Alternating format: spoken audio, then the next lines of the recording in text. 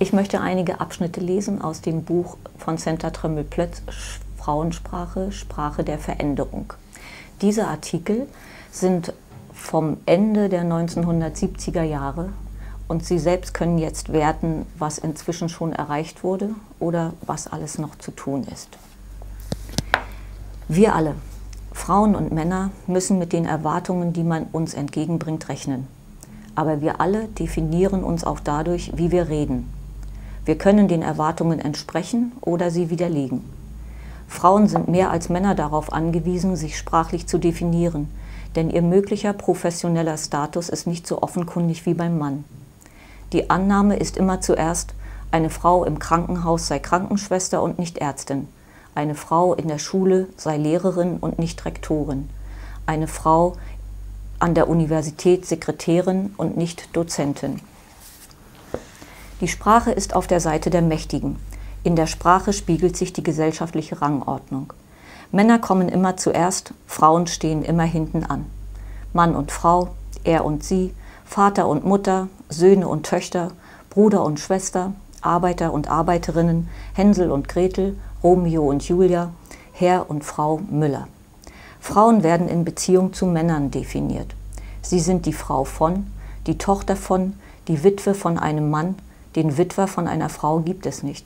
Sie sind Arztfrauen, Professorenfrauen, Diplomatenfrauen, die Ärztinnenmänner, Professorinnenmänner, Diplomatinnenmänner gibt es in unserer Sprache nicht, obwohl sie zumindest im Fall der Ärztinnen in Wirklichkeit relativ zahlreich existieren. In der Sprache sehen wir, um wen es geht und wer nicht zählt. Der beste Mann für einen Job wird gesucht, der kluge Mann baut vor. Der Mann auf der Straße, der Gentleman und der kleine Mann sind alle Männer. Auch die Gewährsmänner, die Mittelsmänner, die Amtmänner, die Pressemänner, die Ratsherren, die Bauherren, die, die diversen Räte, nicht zu vergessen die Pfarrer, Ministranten, Bischöfe, Küster und Päpste. Selbst wenn es mit, um Gruppierungen mit mehr Frauen als Männern geht, zählen die Frauen nicht. Wir müssen die Teilnehmer, die Kunden, die Wähler, die Studenten, die Arbeiter, die Lehrer sagen, obwohl wir im Deutschen weibliche Formen zur Verfügung haben. Es nützt nichts. Eine Lehrerin und ein Lehrer sind schon zwei Lehrer. Und wie viele Lehrerinnen auch dazukommen, es ändert sich nichts. Auch 99 Lehrerinnen und ein Lehrer sind 100 Lehrer und nicht 100 Lehrerinnen. Frauen zählen nicht. In unserer Sprache ist ständig von potenziellen Männern die Rede und Frauen müssen sich eingeschlossen fühlen, auch wenn es der eine oder der andere, einer nach dem anderen, einer, jeder, der Nächste, er, der und sein heißt. Hören Sie drei Beispiele. Jeder Mensch muss seine Kreativität entwickeln können. Er soll sich nach seinen Fähigkeiten ausbilden dürfen und seinen Leistungen entsprechend aufsteigen können. Oder es ist immer einer dabei, der zu spät kommt. Oder jemand, ich weiß nicht mehr wer, hat mir das erzählt und er hat diesen Zusammenhang angedeutet. In der Sprache zeigt sich, wer die Norm ist und wer die Abweichung. Wir sprechen von den Gesetzgebern, den Politikern, Volksvertretern, Arbeitgebern, Handwerkern und Bettlern und denken immer nur an Männer. Der Bundeskanzler, der Bundespräsident, der Rektor einer Universität, ein Großindustrieller, wir, wie könnten sie etwas anderes sein als Männer? In den Stellenausschreibungen werden für hohe Positionen nur Männer gesucht, obwohl wir im Deutschen, wie gesagt, weibliche Formen zur Verfügung haben. Sie werden nicht benötigt. Frauen müssen sich angesprochen fühlen unter lieber Leser, lieber Zuhörer, lieber Steuerzahler, lieber Wohnungsinhaber, unter Arbeitnehmern, Bürgern, Sozialdemokraten, Atheisten und Studenten. Diese Asymmetrien in unserer Sprache zeigen, wer unter und wer übergeordnet ist, wer zählt, wer gemeint ist, wer das Sagen hat. Ähnliche Asymmetrien gibt es übrigens in der nichtverbalen Kommunikation, zum Beispiel im taktilen Bereich. Auch hier hat sich der Sexismus niedergeschlagen. Zum Beispiel werden Frauen viel häufiger von Männern berührt als umgekehrt.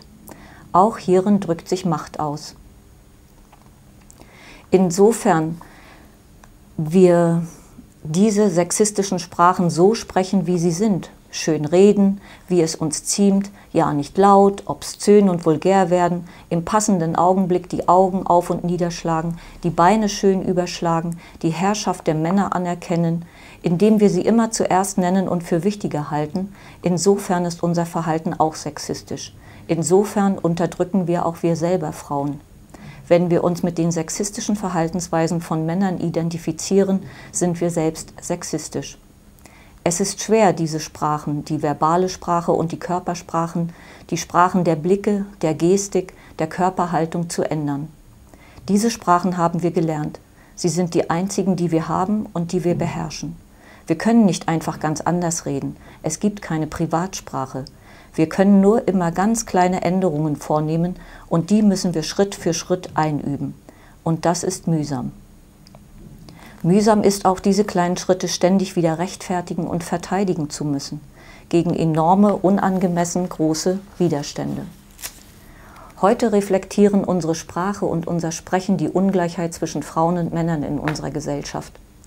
Wenn Frauen und Männer bewusst sexistische Sprache vermeiden und Sprache gleichberechtigt einsetzen, das heißt, da Sprechen ja ein Großteil unseres Handelns ist, auch als Gleichberechtigte miteinander umgehen, wird sich das neue sprachliche Verhalten auch zu einer allmählichen Sprachveränderung niederschlagen, zu einer Sprache hin, in der die Benachteiligung von Frauen und Männern aufgehoben ist.